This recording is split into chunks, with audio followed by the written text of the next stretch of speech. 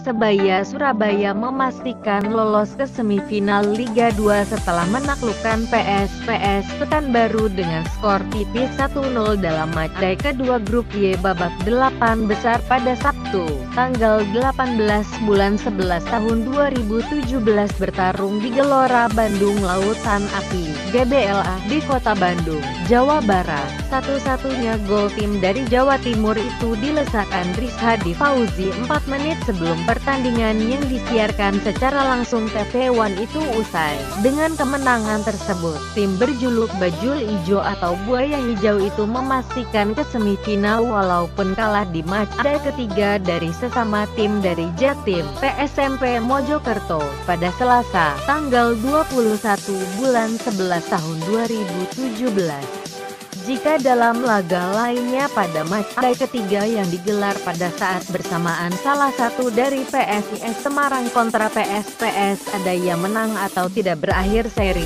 maka nilai tim yang menang itu akan sama dengan Persebaya yakni 6. Namun, berapapun selisih golnya, Persebaya berhak di posisi teratas dalam klasemen akhir grup Y karena menang atas PSPS dan PSIS, sehingga unggul head to head, dan di semifinal dipastikan bertemu dengan tim dari Kalimantan Selatan, Martapura FC, sebagai runner-up grup X.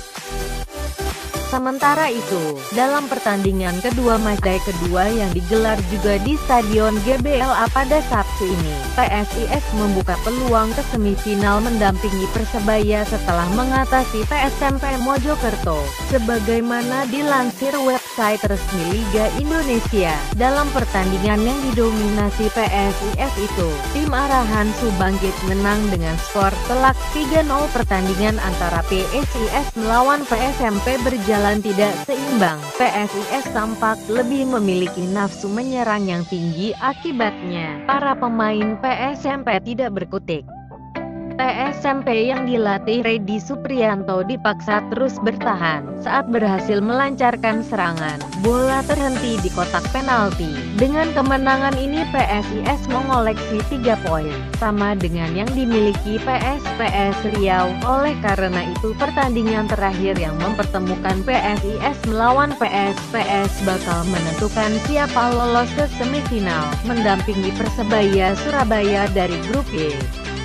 Sedangkan PSMP dengan kekalahan ini berarti tertutup sudah peluang untuk melaju ke semifinal karena telah menelan dua kekalahan. Dalam pertandingan pertama PSMP dikalahkan PSPS dengan skor 1-3. Dan juga PSIS juga masih bisa tampil mengejutkan dan kembali kali ini Rizani Fauzi dan gol! Sadi Fauzi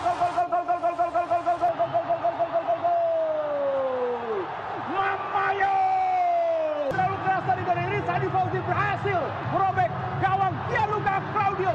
1-0 Erwin. Ya, sebuah sundulan akurat dari Rizadi